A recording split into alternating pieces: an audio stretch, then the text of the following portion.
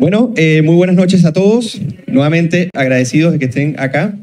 Eh, ha sido un día de mucha deliberación intelectual y para todos los que están conectados en este momento por nuestras redes sociales, eh, a nuestra, nuestra comunidad, básicamente nuestros buenos comensales que se conectan a vernos en cada uno de nuestros programas y nuestras instancias, eh, quisimos abrir precisamente este seminario para que conozcan la Universidad eh, Fundación para el Progreso, pero también por otro lado, cómo no compartir con nuestra comunidad en nuestras redes sociales, además de los alumnos que quedaron seleccionados a la Universidad Fundación para el Progreso, este tremendo conversatorio que va a tener lugar dentro de unos pocos minutos eh, entre dos grandes historiadores, a personas que yo admiro mucho y que hemos tenido, bueno, la fortuna y el honor de tener acá y que ustedes acá, los que están presentes, eh, bueno, están presenciando precisamente eh, esto y es un honor también para ustedes y para todas las personas que puedan ver y compartir precisamente estas ideas. Ahora, yo quiero detenerme un poco, hablar un, qué, qué, es lo que hace la, la Universidad Fundación para el Progreso. Es un programa que selecciona jóvenes de Chile y toda América Latina para que en tres días intensivos de actividades, conferencias, charlas y también eh, compartir y deliberación se puedan formar con base en las ideas de una sociedad libre. Y esto lo hacemos en la economía política, la teoría política, la filosofía y la historia. Así que para nosotros es muy relevante no solamente formar liderazgo, sino que este liderazgo tenga esa formación sustantiva que se necesita para el debate público y para la formación intelectual. Entonces, eh, este día va a cerrar con, eh, es de lujo, es un cierre de lujo, y va a ser con los profesores Alfredo Jocelyn Holt y Lori Sanata. Voy a comenzar eh, presentando a, al profesor Lori Sanata. Él es profesor de Historia de América Latina en la Universidad de Bolonia, Italia. Ha publicado libros y artículos en diversas revistas de Europa Latino y Latinoamérica, y entre sus obras destacan Del Estado Liberal a la Nación Católica, Perón y el mito de la Nación Católica, Historia de la Iglesia Argentina, Breve Historia del Peronismo Clásico, Eva Perón, una biografía política, Historia de América Latina de la, de la colonia del siglo XXI, El populismo jesuita, que es uno de los libros que ha venido a comentar acá a Chile y que precisamente es el que va a protagonizar en cierta medida lo que va a ser esta conversación de hoy, eh, entre otros, em, y su más reciente libro, El Papa, el Peronismo y la Fábrica de Pobres. ¿okay? Y el profesor Loris Sanata es PhD en Historia de las Américas. Así que vamos a darle un fuerte aplauso al profesor Loris Sanata.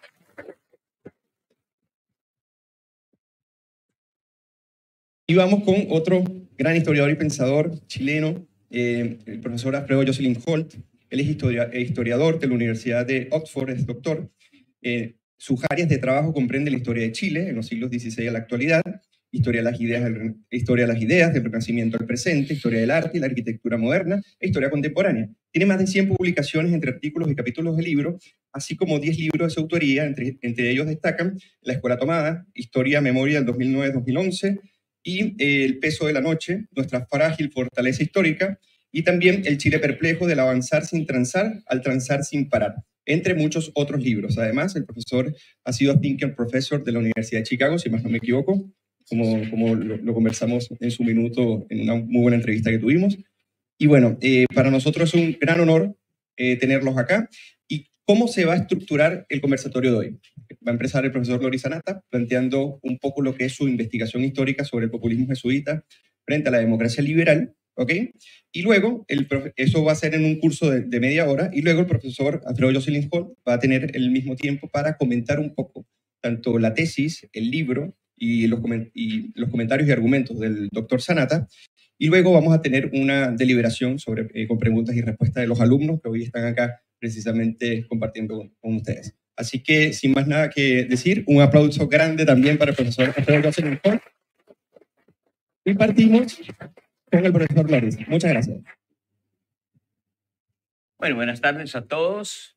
Eh, Estoy emocionado, la verdad, porque me siento primero muy honrado de estar aquí, de tener frente mío tantos alumnos y alumnas tan jóvenes y, bueno, de estar al lado del profesor José Holt, que yo he leído, he leído mucho durante los años, no lo había conocido nunca. Hacía 20 años que no viajaba a Chile, así que todo es muy nuevo para mí.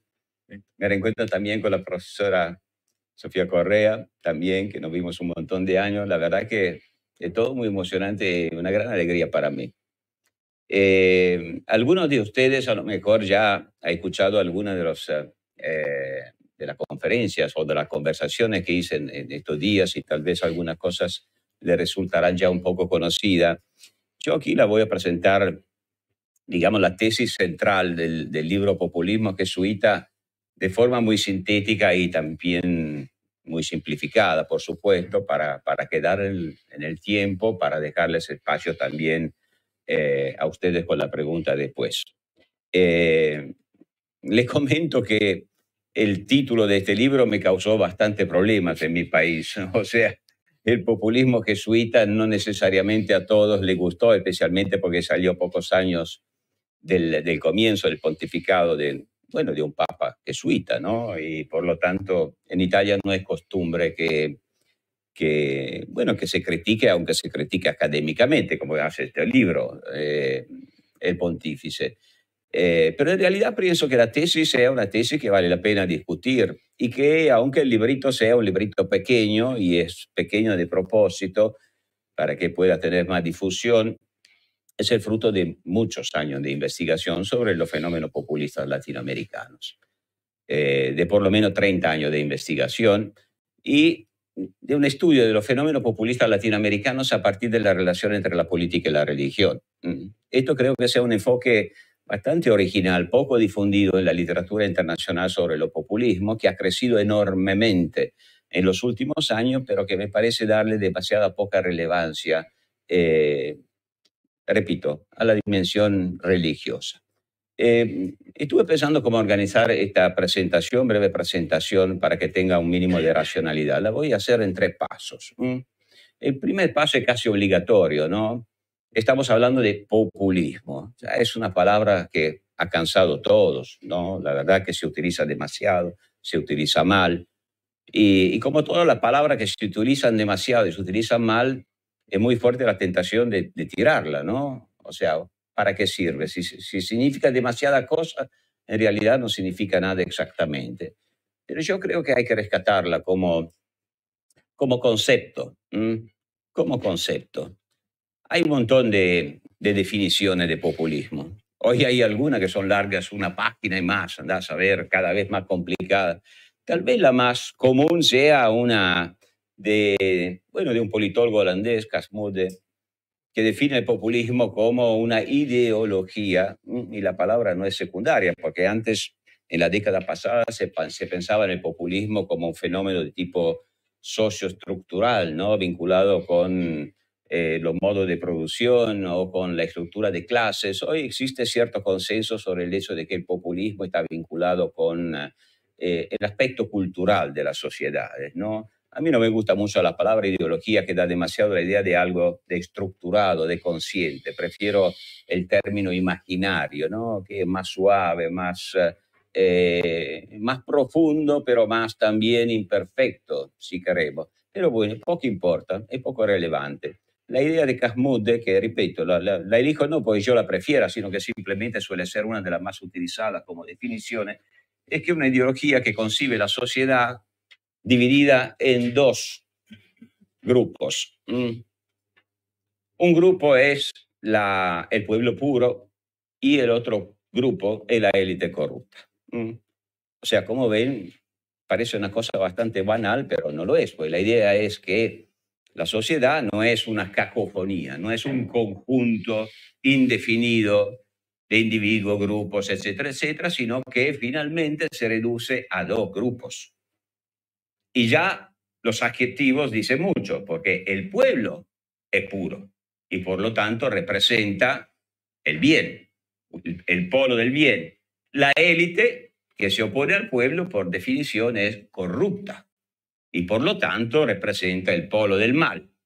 Esta es la visión general. Ahora, de acuerdo con esta eh, definición de Casmude, eh, esta división eh, es entre dos grupos que son homogéneos cada uno en su interior. O sea que son dos mundos formados. El del pueblo es un mundo, el de la élite corrupta es otro mundo, ambos homogéneos en su interior. Y el clivaje entre ellos puede ser de diferentes tipos, pero esencialmente es un clivaje de tipo moral. No casualmente yo acabo de decir que es el polo del bien y el polo del mal. Ya así eh, podemos empezar a pensar que estamos frente a una visión de tipo religioso, eh, no necesariamente vinculada con una confesión religiosa, sino que estamos frente a una idea de tipo religioso que interpreta la sociedad de los hombres como la prosecución mundana de la lucha eterna entre el bien y el mal, en este caso llamados el pueblo puro y la élite corrupta. Esto es, digamos, una definición clásica. Yo que trabajo este tema hace muchísimos años, llegué a una definición mínima, minimalista. Mi definición está casi desapareciendo. ¿eh? Un, día, un día haré silencio para decir que es el populismo, porque yo digo que el populismo es una nostalgia holística, dos palabras. O sea que finalmente lo que alimenta el populismo es una nostalgia y tiene que ver el pueblo puro. La nostalgia significa que la pureza estaba en el pasado, no en un lugar físico del pasado, en un lugar de la mente. Pero es una idea en realidad que no es tan nueva, ¿eh? no es tan nueva del populismo. Es una idea que acompaña la filosofía desde la antigüedad, de la idea que la pureza es en los orígenes y, y a medida que avanza la historia, la historia degenera la pureza de los orígenes, ¿no? Platón le llamaba las formas, pero mucho, digamos, las religiones monoteístas, casi todas, no, todas tienen de formas diferentes un lugar originario, pongamos en el cristianismo, el jardín del Edén, donde existe la perfección originaria, ¿no? Antes del pecado original. Por otra parte, si lo pensamos en términos humanos, también es comprensible. Pues nuestra vida, es, nacimos que somos bebés y somos la perfección y después, a medida que avanzamos con la edad, nuestro cuerpo y tal vez dicen también nuestra alma, anda a saber, no sabría decir, se va corrompiendo. Así que no es una idea tan, tan nueva. Bueno, la nostalgia del populismo es un poco esta. Es, eh, bueno, es recuperar, es eh, restaurar la, la, pureza originaria. Ahora, claramente el populismo tiene una raíz eh, etimológica que no tenemos que olvidar, que es pueblo. Entonces, en el caso del populismo, la pureza originaria es la pureza del pueblo existe en la visión del mundo del populismo, en el que yo llamé imaginario, una visión originaria del pueblo como un pueblo puro, incontaminado. Y la condición natural del pueblo originario del populismo es la armonía. De ahí que digo una nostalgia holística. Yo siempre lo digo, algunos se ríen, pero es la verdad. Yo hasta hace 10 años no la llamaba así la definición de populismo, prefería decir una nostalgia unanimista, porque la palabra holística me parece, uff, suena tan compleja. En realidad el concepto es sencillo, pero suena tan compleja. Pero después, desde entonces, apareció el Pilates, que me ayudó mucho. Eh, todos hacen Pilates, aprendieron qué significa eh, holístico y por lo tanto puedo utilizar la palabra. Bueno, es la idea de una armonía donde todo está vinculado con todo, ¿no? Donde la suma supera la suma algébrica de, los, de las partes. Es como en el cuerpo humano. Nosotros no pensemos, por eso yo también hablo de tradición orgánica en ese sentido, ¿no? O sea, nosotros no pensamos en nuestro cuerpo como dos manos más dos pulmones más un corazón. No, el cuerpo supera el conjunto de todos nuestros órganos. Entonces, la idea de armonía es precisamente esto, es volver a un holismo original que se ha fragmentado, que se ha contaminado, que se ha corrompido a lo largo de la historia. Y efectivamente, voy terminando esta primera etapa, si nosotros examinamos el relato común del populismo, de cualquier populismo, como ven, no me metí todavía en Latinoamérica, ni me metí en la historia contemporánea. Estoy hablando en términos generales de un núcleo ideal de populismo en cualquier época, en cualquier lugar. El núcleo, yo creo, estoy convencido, después de tanto tiempo, se puede reducir a una parábola. En el comienzo hay un pueblo puro. El pueblo puro, al ingresar en la historia que es corrupción, se fragmenta una parte del pueblo se separa del pueblo puro, se transforma en élite que lo corrompe. entonces el pueblo es amenazado de degeneración, entonces se plantea la necesidad que para rescatar, para uso términos, eh, aunque no sea mi idioma, pero trato de utilizar los términos que sean... Aunque no es su idioma, si lo maneja. No, bueno, pero me falta vocabulario y a veces yo soy muy, digamos, pedante en buscar el verbo, pero el verbo correcto es redimir. Eh, es la idea que se necesita redimir el pueblo corrompido. De ahí que aparezca, que se crean las condiciones, que se cree la expectativa también de un redentor que baja a la tierra, que toma el pueblo de la mano, que toma su pueblo de la mano y que transforma su pueblo por alguna característica que tiene este pueblo y según la circunstancia puede ser una pertenencia social, una pertenencia étnica, una pertenencia religiosa, un valor moral, ¿eh? los honestos contra la casta, pongamos un ejemplo casual para no estar en, en cosas de nuestros días, bueno, pero un pueblo parcial que el Redentor transforma, transforma en el pueblo elegido, en el único pueblo legítimo porque es el pueblo que custodia la pureza originaria que se había corrompido. Y tomado de la mano, el pueblo elegido, ¿dónde lo acompaña? ¿Dónde lo lleva? Este es fundamental para entender por qué todos los populismos, hasta aquellos que llegan al poder por vía electoral, constitucional, etcétera, tienen una vocación, dicen ellos, revolucionaria. La, palabra la palabra revolución, si lo piensan, es una forma secularizada de la palabra redención, ¿no? Y la idea de hacer, eh, bueno, de cancelar, de expiar el pecado social para volver a construir purificada la casa desde los fundamentos. De ahí eh, que los populistas no prometen reformas, prometen el paraíso. ¿Mm? Fidel Castro lo dijo textualmente, hizo la revolución y le dijo a los cubanos, viviremos en paraíso. Bueno, esta es la, primera etapa. Segunda etapa, salgamos de la metáfora. ¿Mm? Salgamos de la metáfora y metamos las manos en la masa, ¿eh? en la masa histórica. Y veámoslo desde América Latina.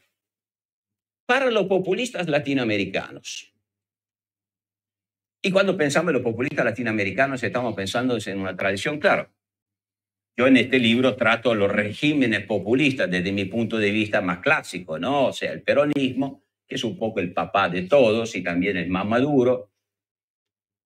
El castrismo, que si quieren después lo, lo, comentamos, porque muchos dirían, no, ¿qué tiene que ver? Este es un marxismo-leninismo. No, yo estoy súper convencido que es un populismo realizado, tal vez el más realizado, el chavismo. Podríamos hablar del indigenismo eh, como populismo, sin duda. Podríamos ir atrás para ver el régimen político nacido de la Revolución Mexicana, pero estamos en esta, en esta esfera, eh, para que tengan una idea. Ahora, decía, salgamos de la metáfora. ¿Cómo es? ¿Cuál es el pueblo puro de los populistas latinoamericanos? La pureza de la origen. Bueno, generalmente es el pueblo antes de la corrupción. ¿Cómo era el pueblo antes de la corrupción? Y lo acepten o no lo acepten, lo reconozcan o lo nieguen, finalmente los populismos latinoamericanos no pueden no reconocer que este pueblo imaginario es el pueblo de la colonia, es el pueblo de la cristiandad hispánica, cuando uno era el pueblo una era la fe, uno era el rey. El pueblo era uno. Claro, hoy el indigenismo repite los mismos pasos buscando la misma pureza en una condición todavía anterior. O en una mezcla, el mestizaje, el barroco, ¿no? De la época colonial. Pero esta es la idea. Esto era el pueblo puro. Entonces, si, si este es el pueblo puro, el pueblo de la armonía, el pueblo uno, que tenía una fe, que tenía un rey y que tenía una conformación orgánica, porque era un orden creado, un orden dominado por lo sagrado, creado de acuerdo con el imaginario típico eh, de la cristiandad medieval, como era obvio que fuera antes de la revolución científica moderna. De manera que concebía el orden social exactamente como un organismo humano. Cada uno tenía su función, cada uno tenía su cuerpo, cada uno tenía su lugar en la jerarquía. Así funcionaba. Y una era la fe que lo unía. Y uno el rey que lo unía. Ahora, este es el pueblo puro, saliendo de la metáfora, y que lo corrompió. Bueno, al comienzo fue la reforma protestante. De ahí que el populismo latinoamericano, consciente o inconsciente, vea en la reforma protestante y en sus herederos, eh, los anglosajones especialmente, el antinorteamericanismo latinoamericano muchas veces se piensa que sea debido, 10 minutos, perfecto, que sea debido esencialmente a la política agresiva, imperialista de Estados Unidos. Sí, puede ser, también existe esto, pero la raíz profunda es otra y es mucho más profunda. Y es esta que estoy diciendo. La reforma protestante, ¿qué hace? Fragmenta la cristiandad, la rompe, la rompe. Y muchos historiadores observan que en el mundo protestante se generan las condiciones para el llamado progreso, ¿no? O sea, la reforma científica, la reforma filosófica y finalmente la reforma constitucional y finalmente la liberal democracia en que vivimos en la mayoría de los países occidentales, no tanto por razones teológicas, sino porque la fragmentación de la cristiandad crea la condición para el pluralismo, para la circulación de las ideas. Lo que no puede pasar en, en el mundo de la contrarreforma, en el mundo hispánico, por lo tanto, ¿no?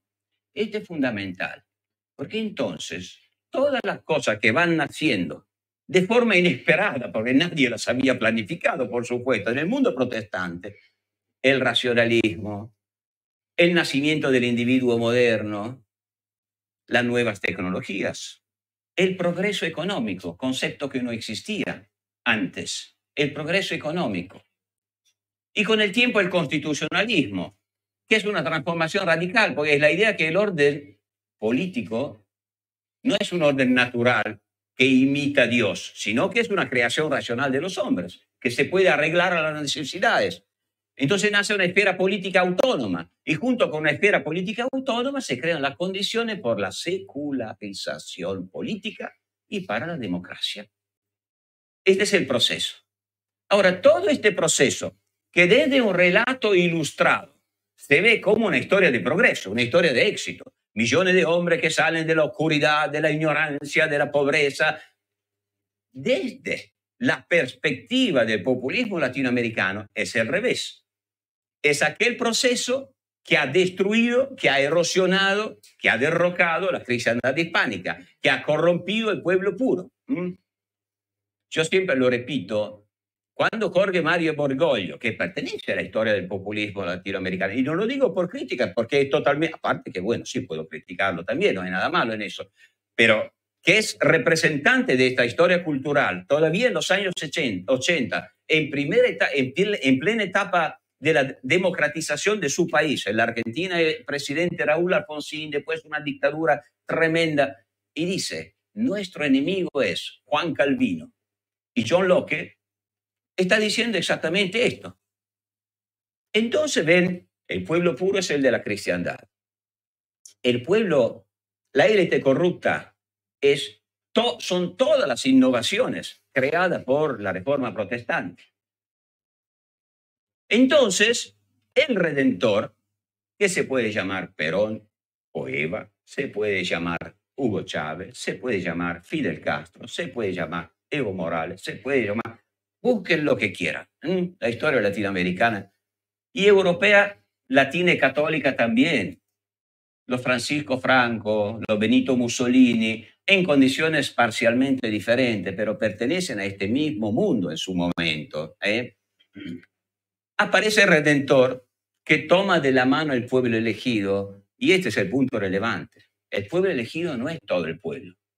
El pueblo de la Constitución somos todos. El pueblo de la Constitución son todos los ciudadanos, cada uno con sus derechos y deberes universales. Pero el pueblo del populismo es el pueblo de Dios. Es un pueblo sagrado. Es un pueblo que tiene, es el pueblo puro. De ahí la dicotomía típica de lo populismo, el pueblo puro y el antipueblo.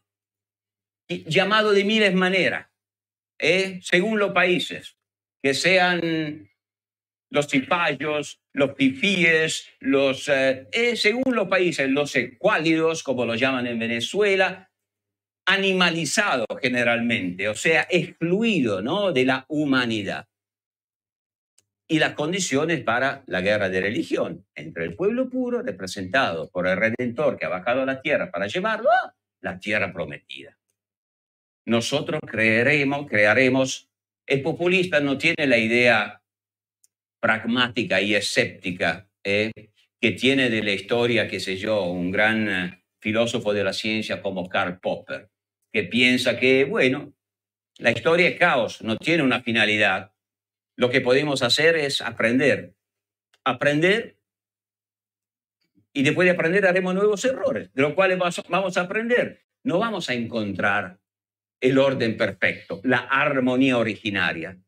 No existe esta armonía originaria, pero en el populismo hay una visión escatológica de la historia. Es la idea, la idea que la historia camina hacia la tierra prometida. Y la tierra prometida es una utopía regresiva, porque en realidad es volver al comienzo. El pueblo puro.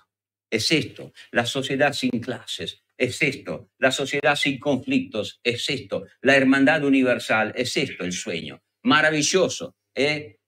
Pero como ustedes saben, y en ese caso la Sagrada Escritura no viene bien, el camino del infierno está empedrado de buenas intenciones. ¿eh? Pueden ser terribles pueden ser nefastas. Esta es la metáfora saliendo de la historia. Termino, porque serán dos o tres minutos a esta altura. La tercera etapa a lo mejor la vamos a profundizar. Si hay preguntas, pero es como un silogismo en cierto sentido. O sea, si para el populismo lo que es fundamental es el pasado imaginado, o sea, para entender el tipo de orden político, social, cultural, el tipo de horizonte ideológico de todo populismo, en cada circunstancia históricas tendremos que entender cuál es su pasado imaginado, porque nadie construye el pasado de forma abstracta, se construye el pasado con los materiales del pasado de uno. Latinoamérica construirá, el populismo latinoamericano construirá sus regímenes populistas con los materiales de su pasado, no con el pasado de China, de India, de Rusia de lo que sea. Entonces, no es, no es casualidad, yo creo, que si vamos a ver cómo son estructurados, cómo funcionan, cuál es el espíritu profundo, profundo de los regímenes populistas latinoamericanos que acabo de mencionar, vamos a ver que tienen todos los rasgos de la cristiandad hispánica, por supuesto adaptados a la, a la cotidianidad, a la, contemporaneidad. Vamos a ver que repiten, eh, que heredan la concepción holística de la que yo hacía referencia. Atención, porque esto no pasa con el, con el populismo norteamericano, por ejemplo. Estados Unidos está lleno de populismo. La historia de Estados Unidos desde el siglo XIX es populismo endémico. Pero en Estados Unidos, en el pasado, tenemos la tradición ilustrada, tenemos el iluminismo, tenemos la constitución de Filadelfia. Es impensable recrear en Estados, Unidos un orden, creado, un orden orgánico. En América Latina sí que hay un pasado, en cambio, orgánico, poderosísimo, que les dejó la religión, el idioma, si les parece poco, hay algo más de esto que conforma la mentalidad de la persona entonces, los populismos no casualmente, de forma inconsciente, la mayoría de las veces. Otras veces más consciente. Los primeros populismos reivindicaron la hispanidad de forma muy, muy, muy clara. Después menos, pero la reivindicaron. ¿Cuáles son los rasgos? Bueno, los rasgos, los rasgos son un animismo, el pueblo uno, no separaciones de poderes, no multipartidismo, no derechos individuales, la jerarquía, el poder jerárquico el caudillo no es casualidad. El verticalismo del orden social no es casualidad. Tercera característica del corporativismo es una sociedad de cuerpos. Esta es una sociedad de cuerpos donde el individuo existe en cuanto pertenece a un cuerpo. Quien estaba el otro día le recordaba a Fidel Castro, todos tenemos que ser algo de algo. No se puede vivir por la libra. No, ya sé que me estás engañando los, los cinco minutos o menos. Me lo comí todo, pero estoy a punto de terminar. Pero te agradezco, eh, te agradezco, porque sé que me estás haciendo una cortesía. Cuarta, el corporativismo es fundamental, porque como ven, es enemigo del individualismo moderno. Este orden orgánico es incompatible o difícilmente compatible con la democracia, que por definición es un pacto artificial que contempla la autonomía del individuo, el pluralismo de las opiniones, de los intereses, etcétera, etcétera. Cuarta característica, el Estado ético. Qué tan importante que es esto. ¿eh? El, el- el Estado del populismo no es neutral como se supone que debería ser el Estado liberal moderno, el Estado del constitucionalismo liberal. No, para el populismo el Estado tiene el deber, no solamente el derecho, el deber de catequizar, de difundir su fe y de combatir los herejes. Y finalmente el quinto punto es, yo lo llamo pobrismo o pauperismo, no sé cómo se dirá más correctamente. Es la idea, como vimos, que el progreso es una amenaza, no es una oportunidad. El progreso amenaza con corromper el pueblo puro. ¿Cuántos teólogos he leído yo en mi vida eh, que lo dicen abiertamente? Pero no estoy hablando del siglo XVII, estoy hablando del siglo XX. Que dicen mejor pobres e iguales que ricos y corruptos. Con lo que tenemos pobres, desiguales y corruptos también. Esta más o menos es la síntesis, ¿no? Muy simplificada de la tesis de mi libro. Muchas gracias, perdón.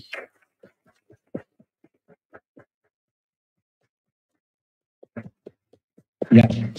Ahora, luego de la exposición del doctor Loris, pasamos a la exposición del doctor Alfredo Jocelyn Hall. Muchas gracias. Muchas gracias. Gracias a, la Fundación para el Progreso, para Fernando Claro y para Eugenio Guerrero, que me, invitaron a, conversar con, el profesor Sanata, que es un lujo de que lo tengamos acá. Eh, ustedes han visto eh, no solamente eh, el dominio extraordinario del español, ah, no siendo su, lengua materna, realmente es, prodigioso. eh, es un gusto escuchar eh, un español de esa manera, además tan coherente. Y también la propuesta que él hace, con un grado de elocuencia que realmente es, es- es muy, muy, muy extraordinario. Ah, los libros también lo, lo- lo manifiestan. ah, ah, y que, como él bien dice, eh, y lo dice en la introducción al, al al- al- populismo jesuita, se le podrá criticar esto o este otro, pero lo que no puede dudarse es que se ha trabajado mucho, mucho tiempo en esto.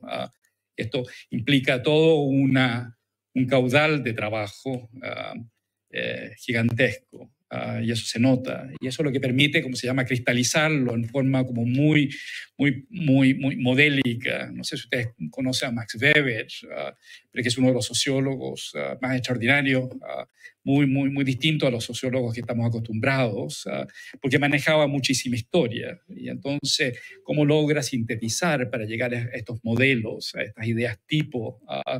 Para poder hacer, y qué es lo que de alguna manera también hace el profesor Sanata, ah, aun cuando él efectivamente tiene una visión de orden político de orden cultural más que de orden sociológico, pero también uno podría decir lo mismo de Max Weber, ah, también. ah, entonces logran, ¿cómo se llama?, cap- encapsular estas distintas posturas. Bueno, yo escribí una cosa, pero no la voy a leer. am, ah, para mantener el, el- sentido de una conversación, más bien. Am, em, porque me, me- me impresiona, es decir, am, porque lo miro desde, desde esta, otra perspectiva, es decir, ¿cómo, cómo se puede, ¿cómo se puede falsear o refutar o am, de algún modo cuestionar eh, eh, tanta lógica, tanta, tanta coherencia, tanta ah, aparente simplicidad, pero en realidad es muy, muy, muy compleja. ¿no? Ah, eh, yo, yo soy un historiador bastante crítico ah, y trabajo a partir de historiografías, lo que otros han escrito sobre lo que yo me interesa analizar y a partir de eso y a partir de una crítica hablo. Ah, eh, y, y entonces, eh, eh, efectivamente, eh, leyendo a- a- al profesor Sanata y escuchándolo, ah, y es muy potente le- escuchándolo, eh, eh, efectivamente eh, cuesta, cuesta encontrarle ah, puntos. ah. si ustedes ven, hace, hace un paseo por la historia, ¿no es cierto?, de que va desde los comienzos ah, de América ah, hasta nuestros días ah, y trata de encontrar un hilo conductor. Y este hilo conductor dice relación con una concepción orgánica, corporativa, ¿no es cierto?, populista, pero no, no, no, usaban ese término, ¿no es cierto?, unanimista, holística, armónica, ¿no es cierto?, y también patrimonialista, porque hay un sentido de, de, de, de, quienes encarnan la propiedad de esto. Puede ser el monarca y puede también transformarse en el pueblo. Uh, y esto está presente desde ese entonces hasta nuestros días. Uh, um, eh, el profesor Sanata no se ha referido a la gente que permite esta conexión, que es el sujeto del, de la orden jesuita. Uh, eh, y eso me llamó particularmente la atención esta vez. Uh, eh, de hecho, es donde, es donde yo más pongo la atención. Uh, entonces me, me, puso, en, me, me descolocó uh, de alguna manera. quizás lo intuyó lo, lo, pechó, y, bueno, pero, pero eso pone una, una, una, dificultad.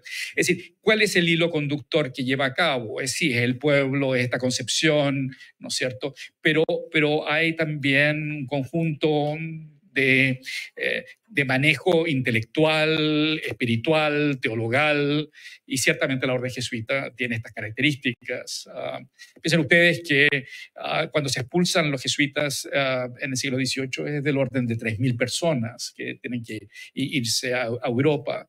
Uh, curiosamente, en Chile eran 300, uh, lo cual es el 10% de la, de, del número total, lo cual es una, un número extraordinario para, todo, para Chile. Chile no es, no es 10% de nada en el mundo colonial español, uh, pero en este caso sí. Y esto se debe a que el hecho de que los jesuitas están en lugares fronterizos, y Chile era un lugar fronterizo. Lo es también, ¿no es cierto?, Paraguay, y lo es también la Baja California, donde la presencia jesuita está está presente um, y, y, demás. Es. Um, eh, entonces, pero me, me, parece que es, es, es, es muy, muy, muy, curioso. El, el, profesor Anata también um, contrapone a, esta tradición la tradición a otra tradición, que es la ilustrada liberal, y que llega con posterioridad. Uh, y por tanto son más bien unos intrusos. Uh, y este sería el núcleo que se mantiene constante de alguna manera y de algún modo, ¿no es cierto?, eh, trata de refutar la ilustración y el liberalismo uh, posterior a esto. Y se genera, por tanto, un conflicto muy, muy fuerte entre dos aparentemente cosmovisiones o visiones de mundo que continúan hasta, hasta, hasta el día de hoy. Me da la impresión, um, y esto sería interesante que el, el profesor Sanata pudiera ahondar un poco, um, que él se identifica claramente con la postura uh, liberal, ilustrada, ciertamente.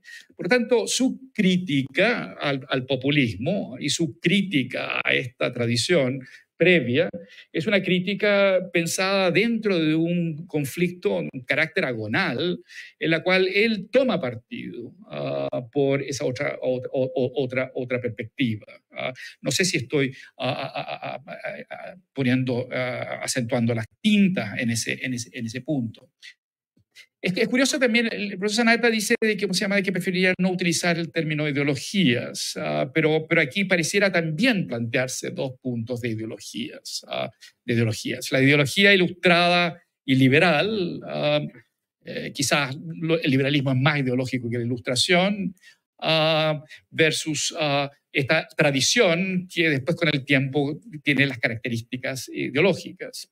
Evidentemente el, el conflicto que se plantea en estas dos posturas, ¿no es cierto?, um, es el conflicto en términos ideológicos de, de, hoy día y se remonta el profesor Sanata en una, en, en una interpretación, ¿no es cierto?, que cubre eh, eh, cinco siglos, uh, piensen ustedes, y vamos, seríamos en el, en el sexto siglo que estaríamos en, entrando, eh, que es portentoso, ¿no es cierto?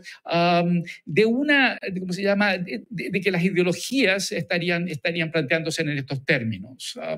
Pero uno se pregunta, ¿cabe hablar de, de, de, posturas que desde la perspectiva de hoy día se miran como ideologías?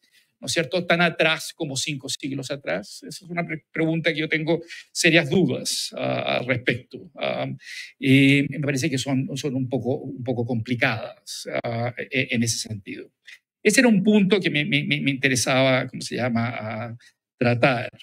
Um, El otro, ah, el, otro punto es, dice relación con, con que eh, en la medida de que él entra en el debate y se, ah, yo creo que se abanderiza ah, con una postura y por lo tanto hace esta crítica a esta tradición y a esta línea, me pregunto si, si, si, si, le concede demasiado beneficio de duda al liberalismo y a la ilustración. Ah, yo, yo vengo de ese, de ese mundo, ah, pero soy cada vez más autocrítico de, de, esas posturas liberales, ah, liberales. Entonces, me interesa mucho ver e, e, e, ese punto. Yo concuerdo con casi toda la descripción del carácter holístico, orgánico, con pretensión armónica, concordante, etcétera, etcétera, patrimonialista, que es de orden escolástico, eh, tomista, pero después lo toman los, los, mismos, ah, eh, los mismos ah, jesuitas y llega hasta nuestros días en, otras, en otras dimensiones. Pero entre otras cosas, y esto porque él quiere, le, atribuye, ¿no es cierto?, el populismo a esto, el populismo de hoy día, que es muy prevalente y va desde los sectores de derecha hasta la izquierda, se cubre todo el espectro. Pero en el contexto latinoamericano vendrían de ese, de ese mundo. Sin embargo, en las descripciones de lo que él llama unanismo uh, y demás, es, a mí me, me saltó inmediatamente en mente a Jean-Jacques Rousseau ah, y su idea de voluntad general. Ah. y entonces, vean ustedes, ah, uno se hace la pregunta si todo esto puede venir más bien de Jean-Jacques Rousseau y no necesariamente de la escolástica o de los propios jesuitas, sin perjuicio que de alguna manera se anticipan. entonces, ¿qué ocurre? ¿Me entiende? en otras palabras, que el conflicto jesuita ¿no es cierto?, populismo, jesuita versus tradición liberal, ¿no es cierto?, ah, eh, eh, no es tan, tan, tan, tan, tan, tan, tan fuerte. Ah, en realidad hay mucho más parecidos entre uno y el otro. Jean-Jacques Rousseau ah, puede ser, ¿no es cierto?, un personaje y un pensador anatémico, es decir, es decir, muy contrario a las líneas liberales, pero también los mismos liberales pueden pueden recoger a Jean-Jacques y la idea de voluntad general se parece muchísimo a una descripción que hace el, profesor Sanata del unanismo. Em, a ver si puedo encontrar eh, justamente em, el, punto.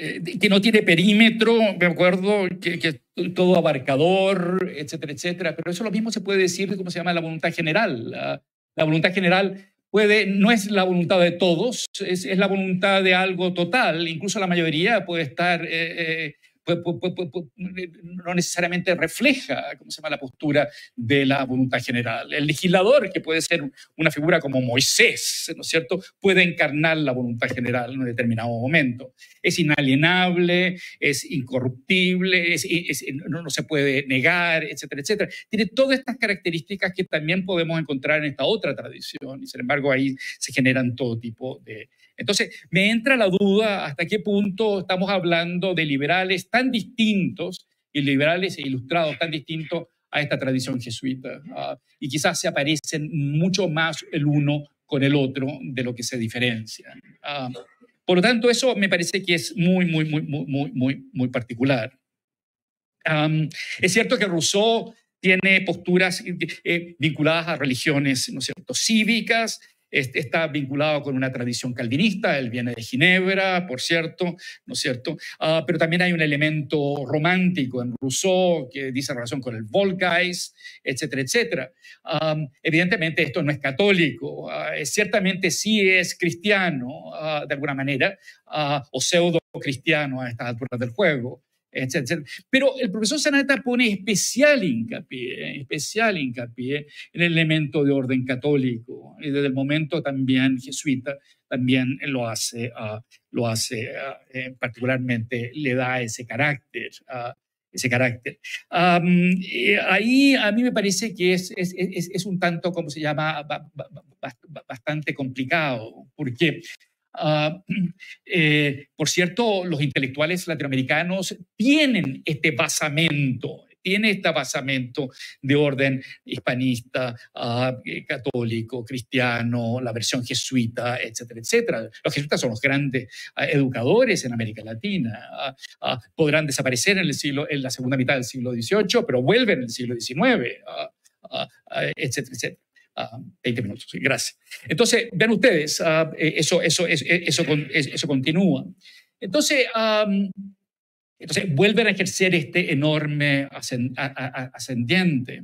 Ah, pero uno se hace la pregunta, bueno, pero, pero lo que esta visión holística, unanimista, ah, patrimonialista, generalista, holística, etcétera, etcétera, de los jesuitas, Ah, ¿por qué con el tiempo no, no lo obtienen del mismo Rousseau, ellos mismos? Ah, los jesuitas son, son, esponjas, están en, en, China y, y, se transforman eh, eh, con las lógicas locales. Ah, esto, esto les cuesta caro a los mismos jesuitas, lo ponen en duda, eh, pueden aparecer como dentro, dentro, de, dentro del mismo catolicismo como como, como potenciales herejes, ah, eh, convertidos al otro lado, ah, etcétera, etcétera. Y entonces, ahí uno se le pregunta hasta qué punto, ¿no es cierto?, cuando estamos hablando de este elemento que es tan tradicionalista, con el correr del tiempo, está muy impregnado de elementos que son ajenos a esa tradición, que son de carácter racionalista, que son ilustraciones, etcétera, etcétera, pero que participan y, y son mucho más congruentes y no tan opuestos, ¿no es cierto?, eh, y contrarios tan absolutos, como a veces me parece que uno tiende a leer en, las descripciones y en, y en, la, y, en la historia ah, que el profesor Sanata ah, muy elocuentemente plantea. entonces, eso me llamó particularmente la atención. El otro punto es ah, también ah, un, intento de mi parte para poner un poco dificultades o, para tratar de, comprender sobre la base de hacer una crítica a la, postura de él. Ah, y es que uno podría sostener, por ejemplo, que el populismo latinoamericano, ciertamente en el siglo XX, que, es, que es de donde estamos hablando, de algún modo, 20 o 21, ciertamente tiene un antecedente muy extraordinario eh, particularmente en el siglo XIX, pero un, siglo eh, un antecedente que además puede remontarse también a la conquista, y es el caudillismo. Y el caudillismo, ¿no es cierto?, es, es, es un antecedente del populismo.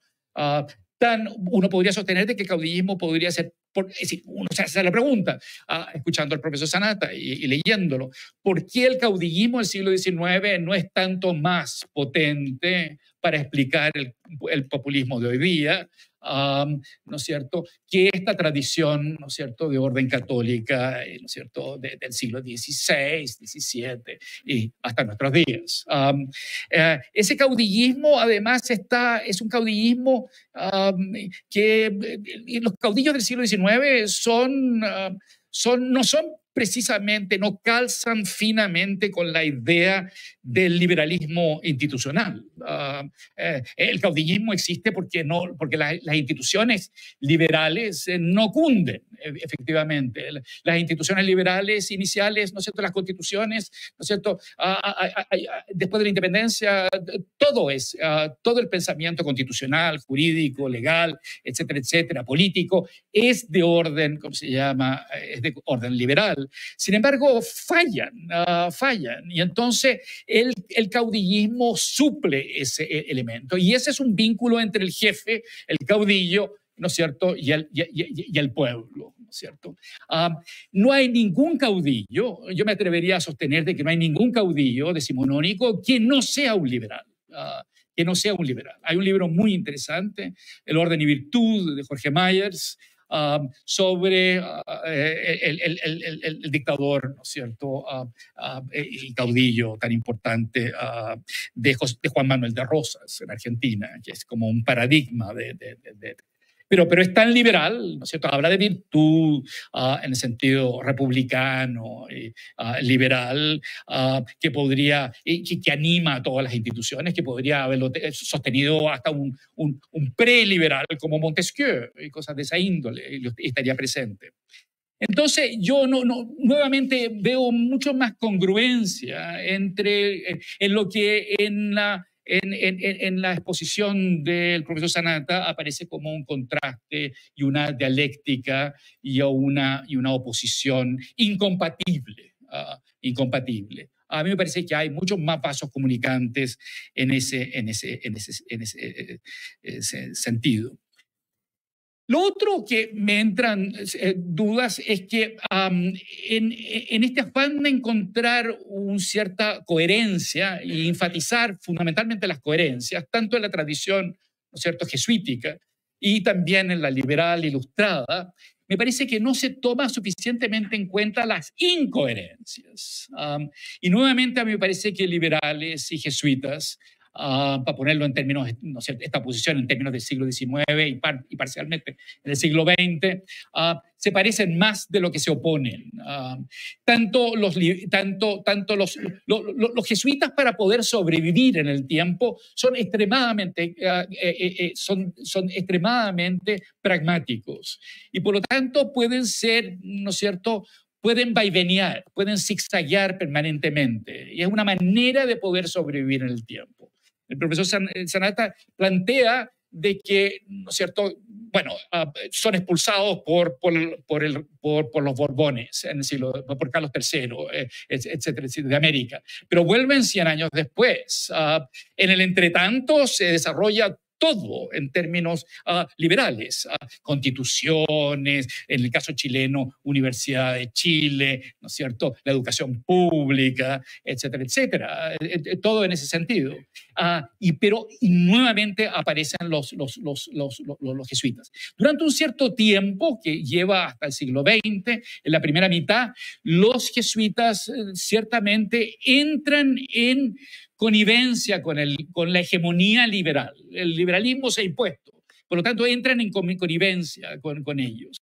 Uh, a su vez, los liberales le otorgan, ¿no es cierto?, un rol a la, a, a la, iglesia y a sus mejores exponentes, que son de orden jesuita, uh, eh, y que puede entenderse como una especie de migajas que, que, le entregan. ¿Y por qué? Porque los mismos liberales se dan cuenta de que no se puede gobernar sin un elemento espiritual, y ciertamente los liberales, ni en, en su base masónica, ni secularizante, se la pueden, ¿no es cierto?, comparar con, con la tradición católica, ¿no es cierto?, que es mucho más fuerte. Y por lo tanto hacen estas concesiones. Y a su vez hacen esta concesión los mismos jesuitas con respecto al liberalismo imperante.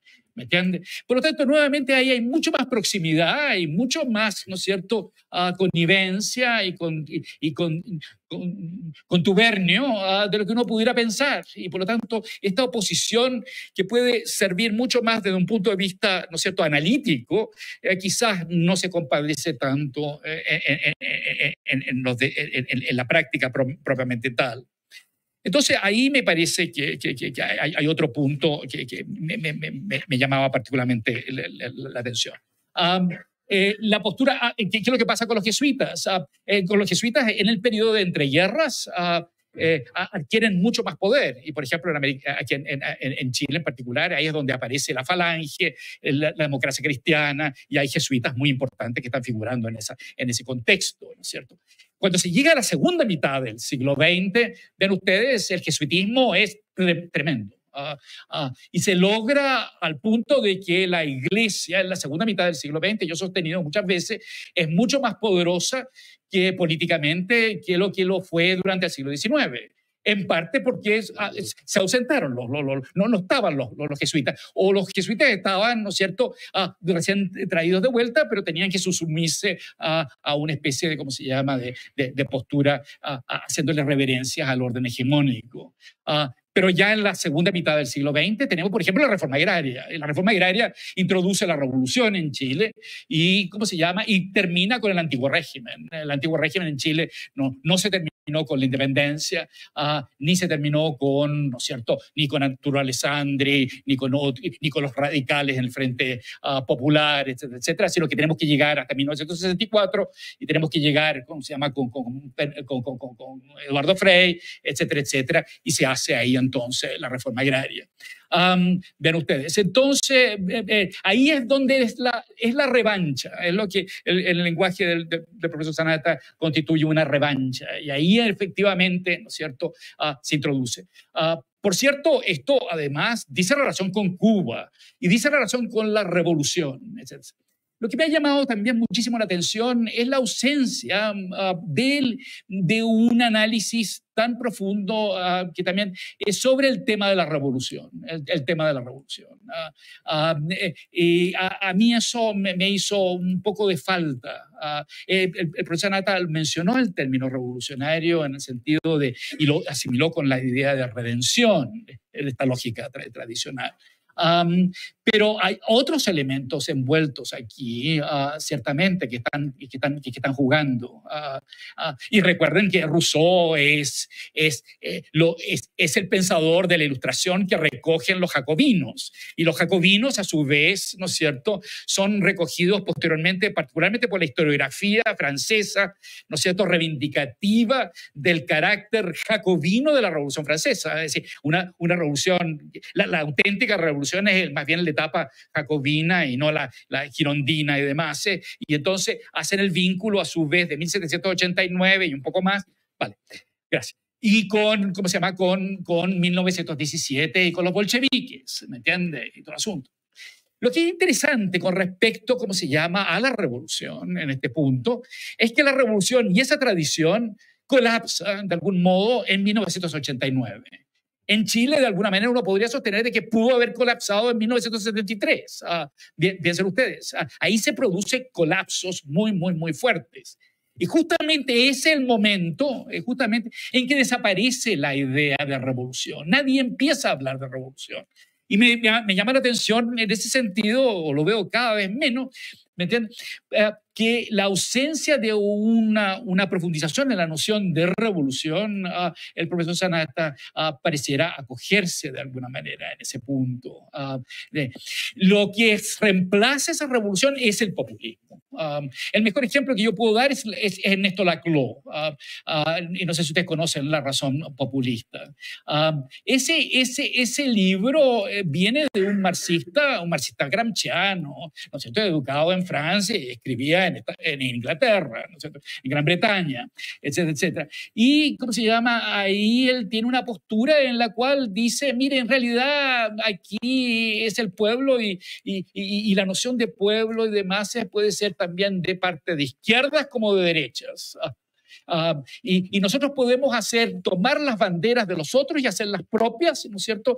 Porque son nada más que significantes. Y entonces él dice que estos significantes andan dando vueltas, palabras como pueblo, ¿no es cierto? Elite, ¿no es cierto? Casta, ¿no es cierto? Ah, todas estas ideas flotan en el aire.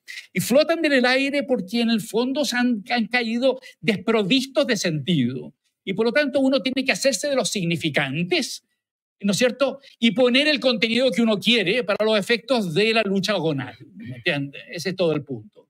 Ah, él se basa fundamentalmente en una lógica eh, semiológica, ¿no es cierto?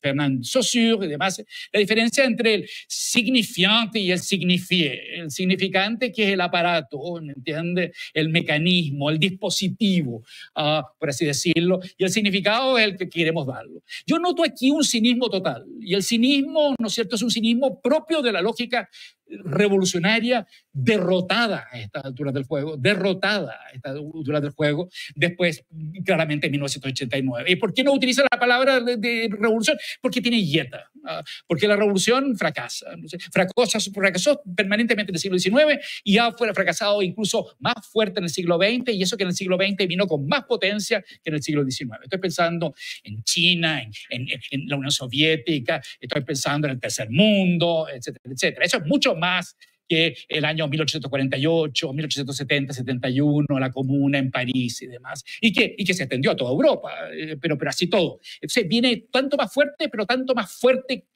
colapsa. Quienes toman la bandera de la revolución en una lógica casi de la CLO, pero al revés, son los conservadores, ah, son los neoliberales, ah, son, son los libertaristas, ah, es Margaret Thatcher, es Ronald Reagan, eh, salían, ¿no es cierto?, los años 80 típico, ¿no es cierto?, la revolución, ¿no es cierto?, las revoluciones son siempre conservadoras, revoluciones conservadoras, de repente eran revoluciones conservadoras, etcétera, etcétera.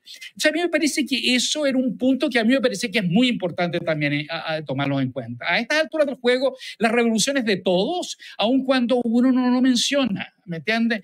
Y eso ahí empezamos a entrar dentro de la órbita de las lógicas populistas, que son lógicas que tienen un vínculo en el siglo XX con la revolución, pero después se vuelven cínicos porque han fracasado rotundamente. Son los derrotados rotundos. A mí eso me, parece que, ah, eh, que, me, parecía que era un punto a, tener en, cuenta. Bien. Sí. Yo, a pesar de todo eso, son, algunos de esos puntos más, más, más, más elementales. Para complejizar el, argumento, ah, no dejo de, ¿cómo se llama?, de admirar ah, la postura de, de, de, ah, de, profesor Sanata en cuanto a, entender esto. Es simplemente que me, me, cuesta, porque el, profesor Sanata es, un historiador, y yo quisiera también pensar que yo soy historiador, y, y como tal, la inmovilidad en el tiempo es muy, muy difícil que nosotros los historiadores podamos suscribir. Eh, entonces, me parece que desde un punto de vista analítico es extraordinario poder unir, ¿no es cierto?, eh, el mundo del siglo XVI, XVII y hasta nuestros días, vincularlo con, ¿no es cierto?, con Perón, Fidel, Chávez, Bergoglio, ¿ah? ¿me entiende?, hasta nuestros días, ¿me entiende? Pero sobre la base de algo que se mantiene eh, permanente y, ¿cómo se llama? Y una tradición, ¿cómo se llama? Que se mantiene constante. ahí se puede caer en un anacronismo ah, y eso me parece que puede ser una complicación o una debilidad posible eh, en, en, una argumentación que por el contrario aparece como muy, muy, muy lúcida yo estoy completamente de acuerdo que el, populismo es una amenaza, una amenaza eh, eh, absolutamente terrible, eh, justamente por su cinismo. Ah, en ese sentido, yo termino al tiro. gracias.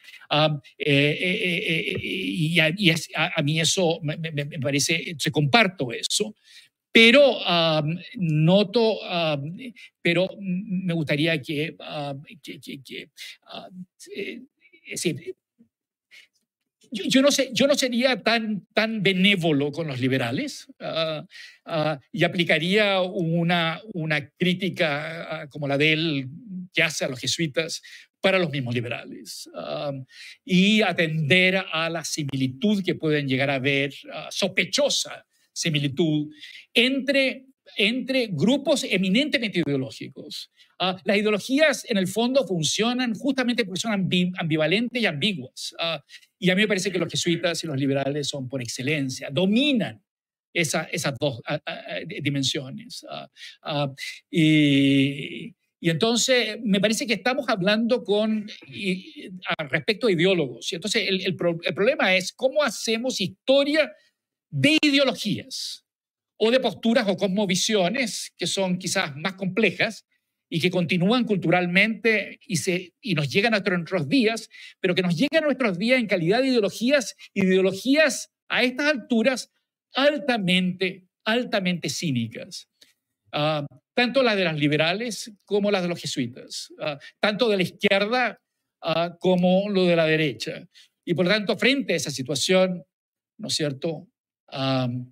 ¿Cómo podemos prever una, una, una resolución de esto? Nicolás Parra, a quien yo no le tengo mayor simpatía, pero dijo algo muy, muy extraordinario respecto a Chile. La derecha y la izquierda unidas jamás serán vencidas. Este es un caso donde tradiciones, ¿no es cierto?, liberales, ilustradas y jesuíticas y escolásticas uh, y organicistas pueden estar más unidas que divididas. Y eso explica la permanencia y la persistencia en el tiempo.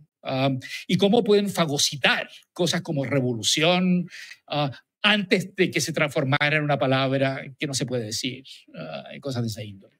Gracias.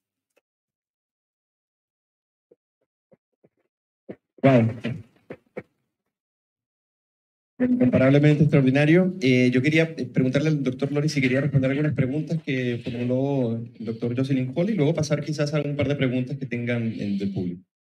Bueno, sí, claro.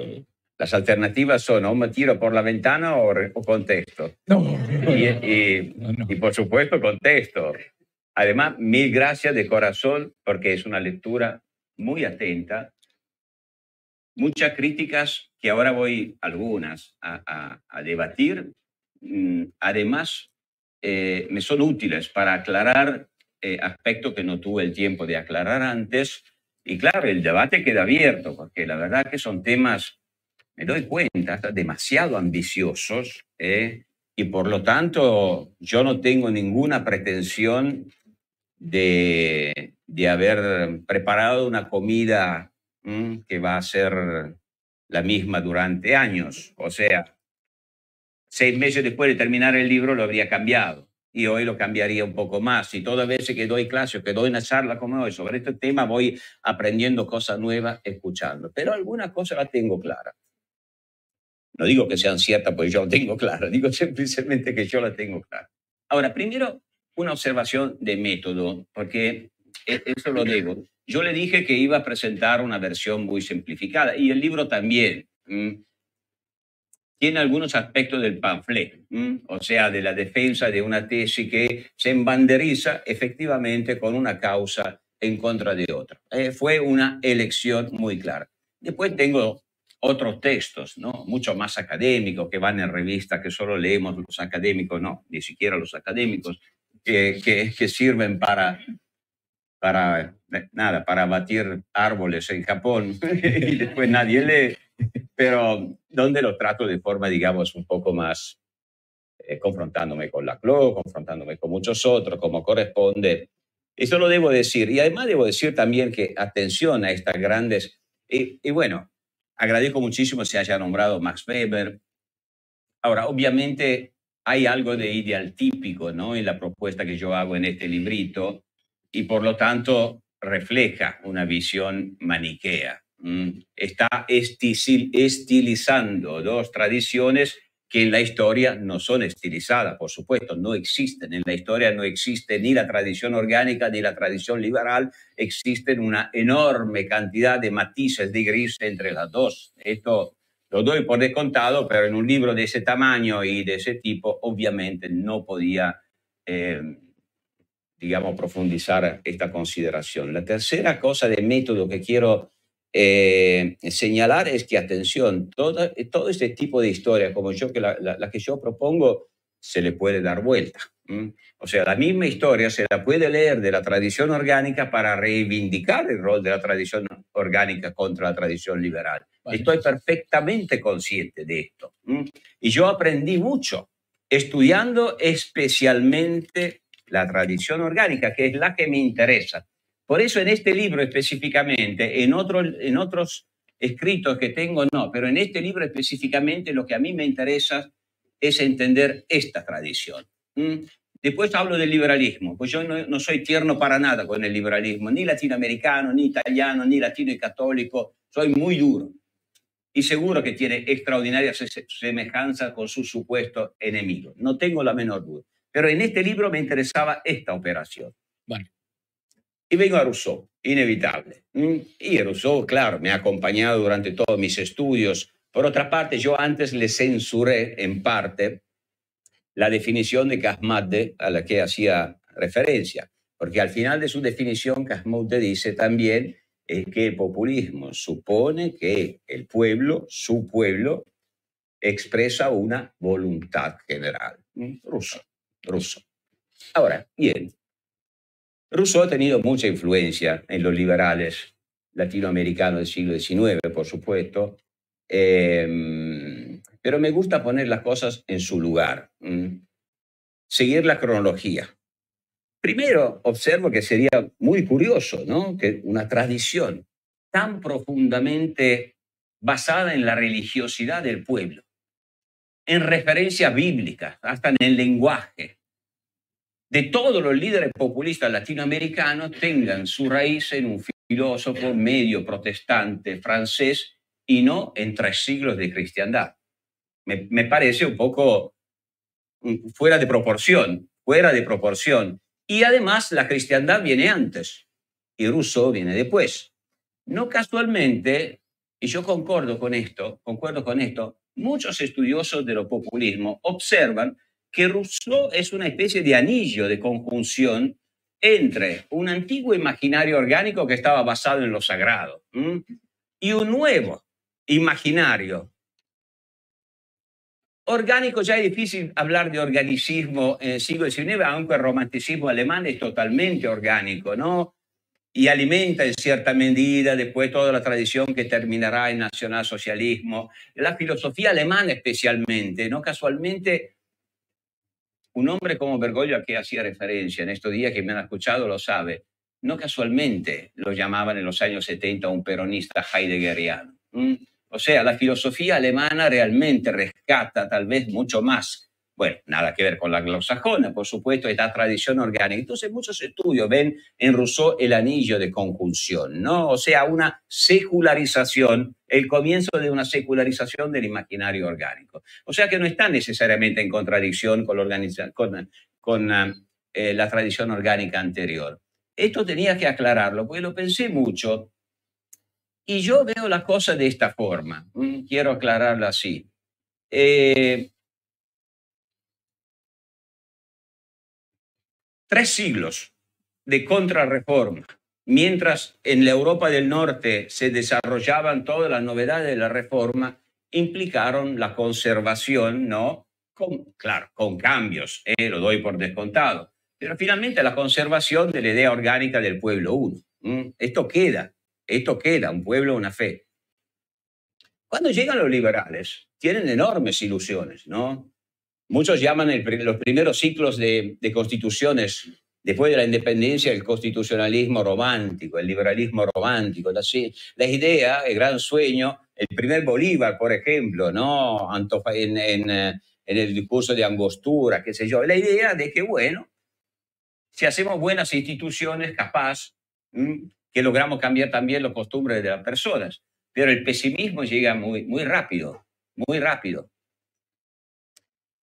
O sea que efectivamente es como dar cabezazos contra una muralla. O sea, nosotros tenemos la idea del hombre liberal, pero acá tenemos el hombre orgánico, estoy simplificando por supuesto. Tenemos tres siglos de organicismo, tenemos el poder omnímodo de la iglesia, tenemos el orden corporativo, donde el individuo no existe. ¿eh? Llaman a elecciones, lleva llega la comunidad indígena con el cacique que, que, dice yo voto por todos. No existe el individuo. ¿Cómo hacemos? Bueno, el, el, caudillismo, en cierta medida, es un efecto no deseado de este fracaso del constitucionalismo, ¿no? Alperindongui decía que finalmente el caudillismo es el intento por parte de caudillos que son jefes militares, pero que también son jefes clientelares, que tienen una actitud paternalista, exactamente como en el orden orgánico antiguo, de llenar el vacío dejado por la cabeza del organismo que había sido el rey. ¿no? Este es. Ahora, no es sorprendente que para los liberales latinoamericanos del siglo XIX le caiga mejor en muchos casos, no en todos en realidad, en muchos casos, Rousseau que la ilustración escocesa, pongamos. Porque claro, los liberales latinoamericanos, como los liberales italianos o españoles, se dan cuenta perfectamente que son minoritarios, que sus ideas no han crecido de forma endógena a lo largo de los siglos, que deben trasplantar una planta en un terreno donde esta planta no solamente no encuentra terreno fértil, sino que encuentra un terreno enemigo. De ahí la tendencia en la historia del liberalismo, italiano también, un historiador italiano la llamaba el comando imposible, o sea, el intento de los liberales de crear un orden liberal ahí donde no hay la premisa del orden liberal. De ahí la tendencia a utilizar yo lo llamé en estos días, medio en broma, la liberalización a patadas, o sea, utilizar la fuerza, o la tecnocracia, como vemos en el siglo XX, en muchos casos, las dictaduras liberales. A mí me, me enloquece. ¿Qué quiere decir? Para mí es un oxímoron. Los liberales no pueden ser dictatoriales, pero en cambio sí la tenemos, las dictaduras liberales, por supuesto. Así como tenemos liberalismos autocráticos. Ojo, yo no estoy juzgando, es muy difícil, ¿eh? Porque cuando me llega un Benítez Juárez que quiere crear el ciudadano moderno, y cosa muy sencilla para hoy, crear el registro civil, el matrimonio civil, en un mundo donde no existe el ciudadano separado de la iglesia, es difícil no hacerlo con la fuerza, con cierto grado de fuerza. Guste o no guste, a mí no me gusta la fuerza, para nada. Pero era difícil evitarlo y de hecho se hizo tanto acá como se hizo en Europa, en España. Este es el marco y por eso los liberales latinoamericanos, obviamente, son más parecidos a los católicos latinoamericanos, a los jesuitas latinoamericanos que a los liberales anglosajones. Así como, siempre lo repito, eh, un eh, católico latinoamericano eh, será muy diferente de un católico holandés que es mucho más parecido a un protestante holandés. Esta es la realidad. Por eso me interesa la historia más que las ideas. O sea, me interesan las ideas colocándolas en su contexto histórico. Entonces, para muchos liberales se entiende que prefirieran Rousseau, que, que prefirieran la tradición jacobina.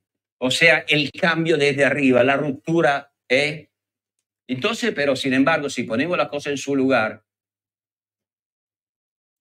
Rousseau es el anillo de conjunción que le permite tratar de convivir o interpretar o llevar a su parte esta antigua, eh, esta antigua tradición orgánica. Lo mismo pasa también a comienzos del siglo XX.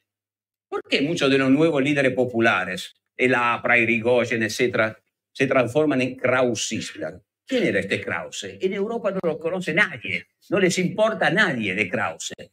Pero lo han traducido en España y de España se vino por acá y qué enorme influencia que tuvo. ¿Por qué? Porque era un kantiano, lo digo de manera simplista, ¿eh? era un filósofo interesante. Era un kantiano, o sea, potencialmente un padre del liberalismo, pero que quería, como buen alemán, adaptar el liberalismo con la tradición orgánica alemana. Y entonces a los liberales latinoamericanos le caía como anilla al dedo. A ver si logramos, digamos, eh, si nos ayuda a ambientar, a climatizar el liberalismo en nuestros pagos. Como ven, hay un intento continuo, pero al mismo tiempo debo decir que esto vale para el siglo XIX. Cuando se pone el problema, este es el momento clave de los populismos, cuando se pone el problema de pasar de la política de pocos, de la política elitista, a la inclusión de las masas, a la democracia, del liberalismo a democracia, ahí sí que vuelve el tema religioso, porque son las masas que llevan a la arena política un imaginario de tipo religioso las masas no, no, traen Rousseau, no tienen la menor idea. Sí tienen la idea orgánica heredada de 300 años de vida a través de sacramentos, liturgia, devociones populares, eh, peregrinajes, etcétera, etcétera. Eso sí lo tienen. Y ese es el momento de revanchismo extraordinario. Yo he leído, quien me ha escuchado lo sabe que soy medio loco, todos los discursos de Castro, todos los discursos de Perón, casi todos los discursos de Chávez, son todos se parecen además, y varios otros no hay Rousseau. Ahí no hay Rousseau. Para ellos no hay Rousseau. En lo liberal del siglo XIX sí que hay Rousseau, por, las razones que dijo. Pero para los populistas del siglo XX no. Las referencias son bíblicas, las referencias son religiosas, aunque cuando la nieguen. Yo escribí una biografía, lo decía, de Fidel Castro, leído a la luz de esta tradición. Yo creo que quien la lee no pueda negar que estamos frente realmente a un jesuita, a un religioso que tiene una visión religiosa del mundo. Claro, en el siglo XX la religión se ha secularizado, eso sí, pero esta es la idea de la reconquista. Con el ingreso del pueblo, el pueblo es católico, el pueblo puro es el pueblo de la evangelización, que no ha sido corrompido por los valores modernos de la, de, la, de la reforma protestante. Este es el pueblo puro, este es el pueblo mítico. A ese pueblo se refieren todos esos líderes populistas contra el enemigo eterno. Y si para mantener este pueblo adoptan políticas económicas, sociales que reproducen la pobreza o hasta la multiplican, yo diría que están contentos, mejor. Mejor asistirlo al pueblo, ayudarlo. Es el eterno, yo en el librito un poco trato así muy de paso el tema de las reducciones jesuíticas, ¿no? Es un tema complejo, por supuesto, que ahí lo trato de forma simplificada, pero la idea del pueblo menor, eterno menor, eterno niño, que hay que tomar de la mano, que, que al, que la, la movilidad social lo, lo, lo corrompería, ¿no? Esta es una idea que en los populismos del siglo XX sí aparece muy fuerte, es la que veo de forma muy clara. Y en los primeros populismos, eh, bueno, la reivindicación de esta tradición orgánica católica es explícita. No casualmente los años 20, 30, 40 son años de hispanismo muy radical, de reivindicación, y, y ahí el antiliberalismo es extraordinariamente radical. Ellos también combaten un, un liberalismo que obviamente en parte no existe, o en parte lo combaten precisamente porque, eh, porque es un liberalismo con tintes autoritarios. O sea, en este caso la tradición orgánica puede jactarse de tener el pueblo. Y todavía la teología del pueblo que nace en la Argentina es que la teología del Papa y que hoy está, digamos, en, eh, digamos, en el, poder de la Iglesia, porque es el mainstream de del catolicismo actual, se basa precisamente en esta idea. O sea, el verdadero pueblo latinoamericano son los pobres y el barroco español. Todo lo que vino después es lo que, lo que rompió y es el antipueblo. Y es la dinámica maniquea que sigue existiendo. De manera que yo esta, esta raíz entiendo que cambia. Estoy totalmente de acuerdo que hay que, que, que no caer en los anacronismos. Pero yo intento rescatar también eh, no solamente la historia de las ideologías o de las ideas, sino los, los digamos, la, las afinidades efectivas entre el peronismo y el castrismo. No hay solamente una afinidad intelectual, hay una historia de vínculos humanos de personas que circulan. Lo mismo del castrismo al chavismo y del peronismo al chavismo y después al indigenismo. Y sus reivindicaciones del pasado cristiano es siempre muy explícita, muy explícita. El último Fidel Castro ya no habla más de marxismo-leninismo, reivindica el rol de las grandes tradiciones religiosas, especialmente el cristianismo y el islamismo, contra la ilustración. De manera que lo tienen extraordinariamente claro. Por eso me parece que esa lectura que va más allá en el tiempo pasando por Rousseau, que tuvo su importancia, yo creo que sea útil. Siempre ajustándola día tras día, pero creo que sea útil. Vale. Ya, entonces, eh, si quieres, eh, ¿quieres responder? Eh, no, no, no, no, no, Ya, perfecto. Es preferible que ya, preguntas no, del, del, público. Wow. ¿Tienen, ¿Tienen preguntas? ¿Seguro? ya. vamos con Tyler.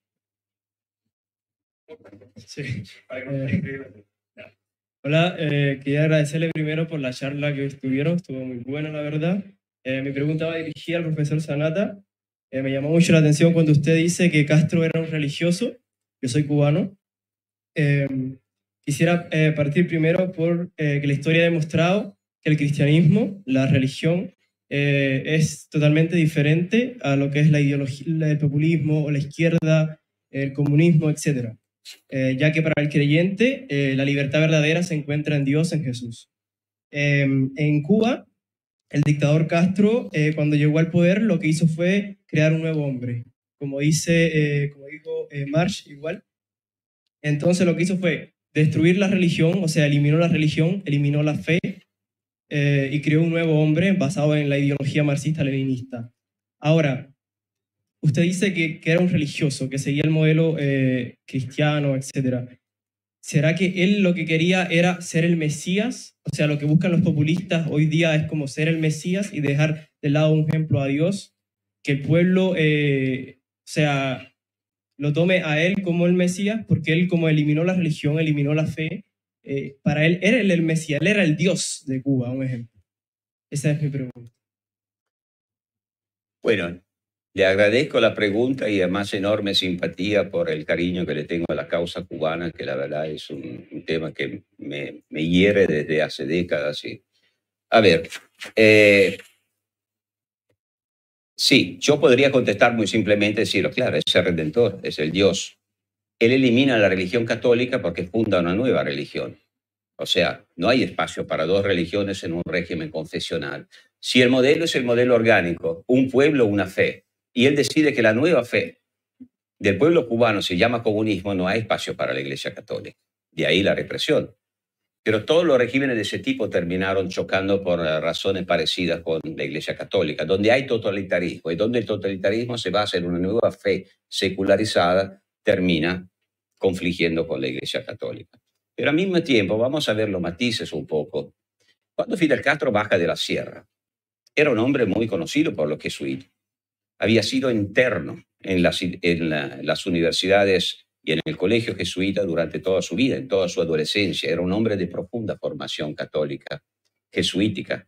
Ser interno por 12 años en lo jesuita significa levantarse a las 5 de la mañana, rezar, sacramentos, ejercicios espirituales, eh, eh, em, em, vacaciones grupales, eh, etcétera, etcétera, etcétera. O sea, leer la Biblia. En todos sus discursos, el libro que más conoce y que más cita Fidel Castro es la Biblia, la conoce maravillosamente. Y él admite que la historia de la guerra la aprendió leyendo la, Sagrada Escritura. O sea, es un hombre profundamente formado. Y cuando llega a Santiago de Cuba después de la revolución, lo espera el arzobispo de Santiago de Cuba, que se ve que no lo veía como gran enemigo porque se puso a su lado en el, en el em, eh, palco donde se celebraba la revolución diciendo, hoy en el cielo de Cuba aparece la palabra triunfo, resplande la palabra triunfo. ¿Por qué? Porque desde su punto de vista la revolución cubana era, digamos, más o menos lo mismo que había pasado anteriormente en la Argentina con el golpe del 43 del que había nacido el peronismo. ¿Qué significaba? Era la muerte de la Cuba liberal, la élite corrupta, que era el occidente cubano. Fidel Castro siempre odió La Habana, la, la ciudad del vicio, donde estaba la clase media formada e influenciada por Estados Unidos, por el liberalismo, por las instituciones democráticas, él dijo, aquí la división de poder del famoso Montesquieu no ingresará nunca, que nunca ingresó. En cambio, él decía, yo represento el oriente cubano, donde vive el guajiro, nacido en un pesebre como, como Jesús. Esta es la idea. ¿eh? Es el, el que realiza el cristianismo. Pero exactamente como el cristianismo de Eva Perón, pongamos, él piensa en un cristianismo comunista. Había un gran jesuita que era el principal asesor de Eva Perón, que llamaba el peronismo comunismo de derecha.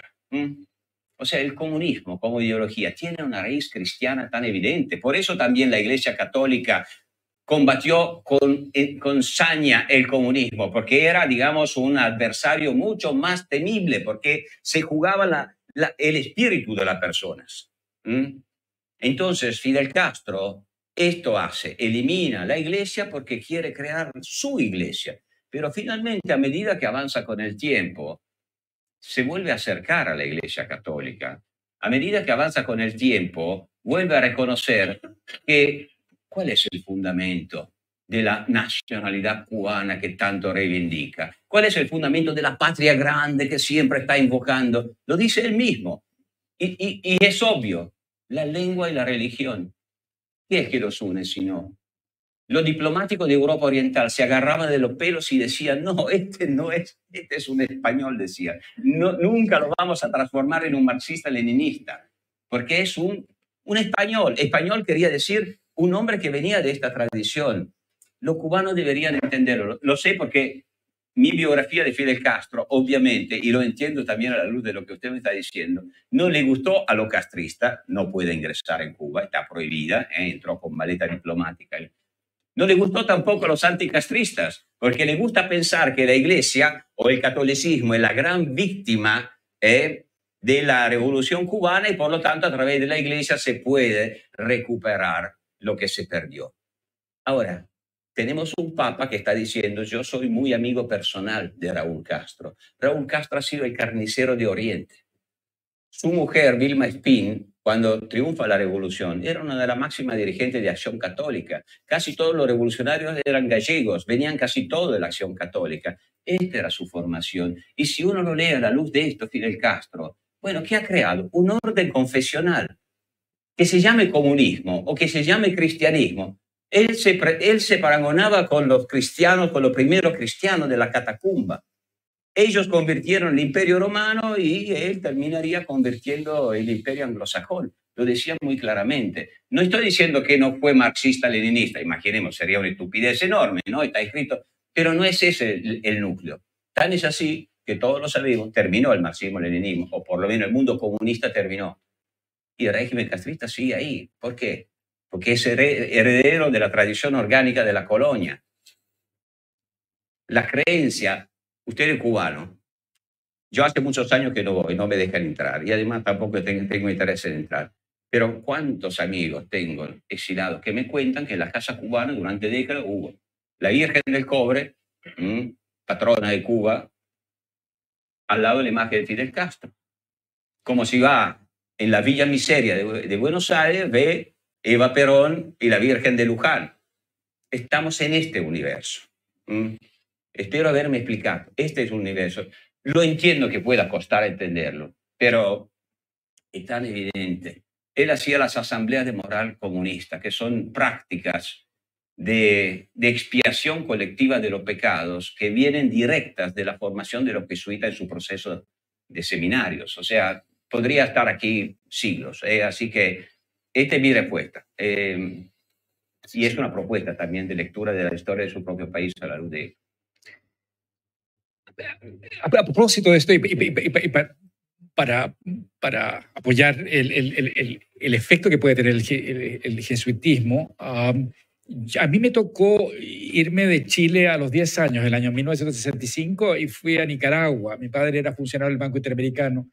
Y fui al, en ese momento al mejor colegio de, de, Managua, que era el Colegio Centroamérica, de, de, los jesuitas. Yo venía de los padres franceses aquí.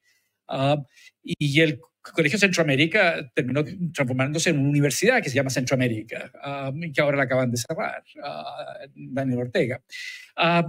pero yo estuve dos años en ese colegio, en realidad un año y medio en ese colegio. Si yo hubiera estado otro año y medio o dos, siempre pienso que podría haber, estoy hablando del año 65 al 67, habría terminado siendo sandinista. Ah, estoy convencido y me libré de eso. Ah, eh, yo no tengo ninguna simpatía. Ese, ese es el nivel de...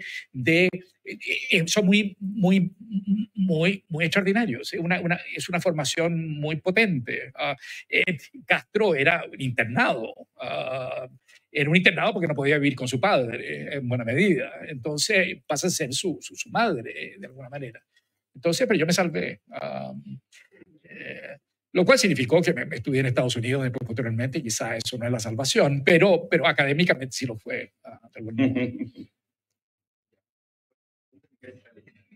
Yo quería preguntarle a, Loris, eh, una pregunta un poco más filosófica, este libro un poco de filosofía de historia, ¿no? de, supervivencia, de, raíces, ¿no? de raíces españolas.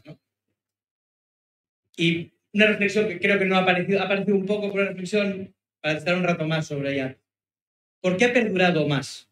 Y si en esa, sobre todo, y si esa, perduración de cultura hispánica extrañadida a otras culturas barrocas como la misma peninsular, se debe al fracaso del liberalismo por un aspecto específico de una promesa excesiva, em, por una idea, no sé si autoritaria, sino por una idea muy utópica del liberalismo como un creador de sociedades. Entonces este movimiento pendular es inagotable por una dialéctica que más que un origen mítico es un origen moderno, eh, decimonónico, de un liberalismo muy exigente y al mismo tiempo muy fracasado, ¿no? Mm. que no tiene enemigo.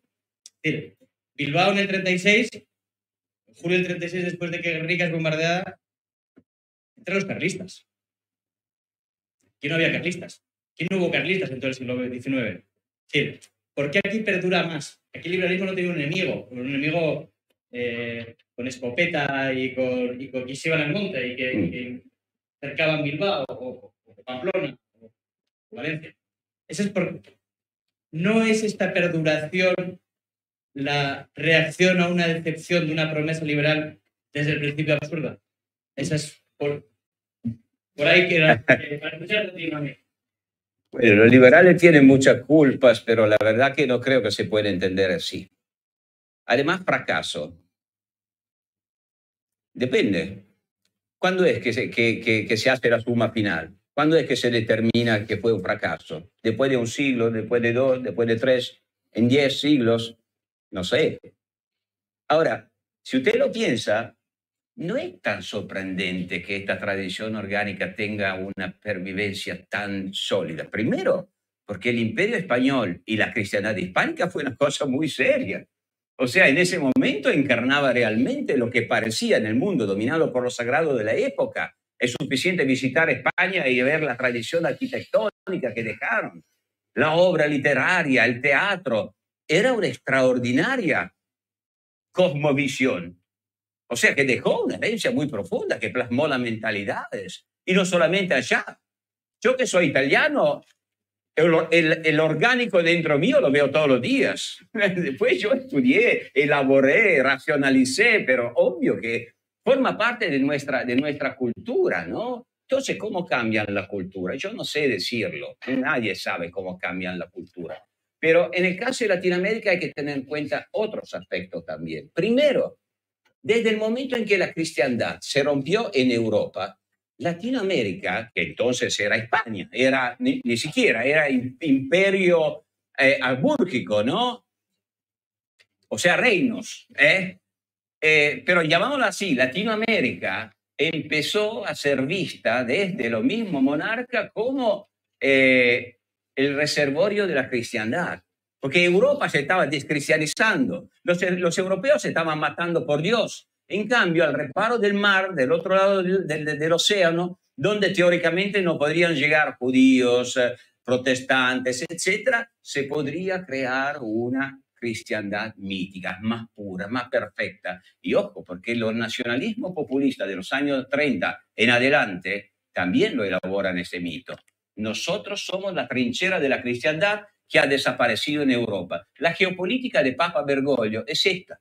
Europa, el occidente, es perdido para la cristiandad. O sea, es desacralizado. No lo vamos a salvar más.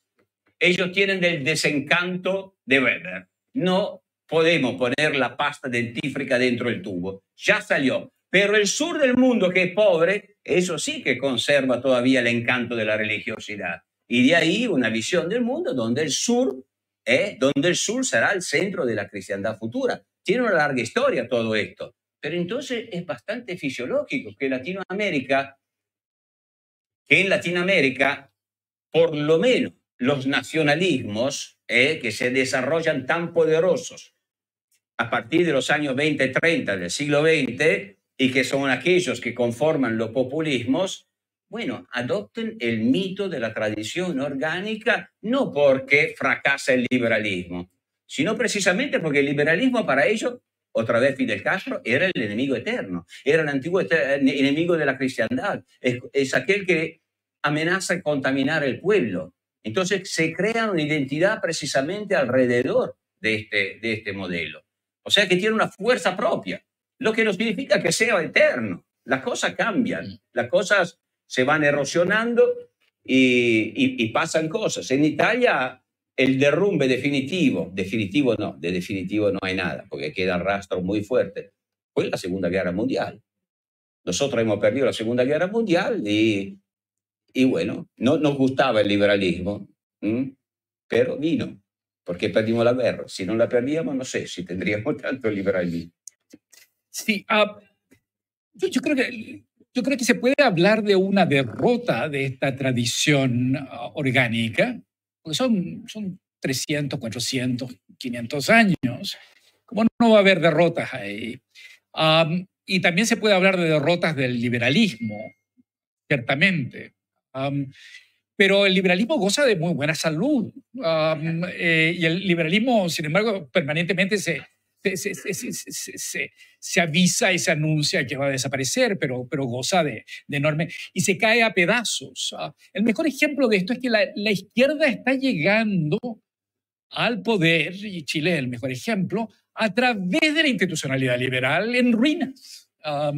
Y, y eso, eso me hace la pregunta, de alguna manera, es que, es que aquí hay, son siameses esta tradición liberal y a su vez la tradición, ¿cómo se llama?, orgánica. Y se requieren uno al otro. y por lo tanto es un, es, un contubernio. por lo tanto, no pueden liquidarse uno al otro porque son perfectamente instrumentales uno al otro en función de su propia pervivencia dentro de una derrota ¿no es cierto?, quizás compartida. en cuyo caso habría, habría que hablar ah, quizás algo que mi señora le interesa muchísimo, ¿no es cierto?, el cambio de época. Y entonces aquí lo que está en juego es Occidente. ah, ah, Occidente y dentro de esto, ¿me entiendes?, manteniendo esta especie de equilibrio, dos derrotados que han man- manejado de alguna manera, por lo menos en América Latina, nuestros destinos. a la fecha. Bueno, eh, hemos llegado al final. Eh, no continuamos porque se les va a enfriar la cena, porque si no, duráramos hasta las, bueno, hasta que puedan los profesores. Así que yo quiero que eh, los despidamos con un gran aplauso porque esto es un lujo.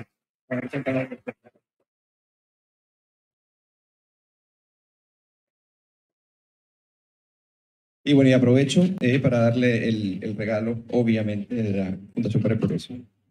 Mm, Por la forma, este es un regalo líquido. ¿eh?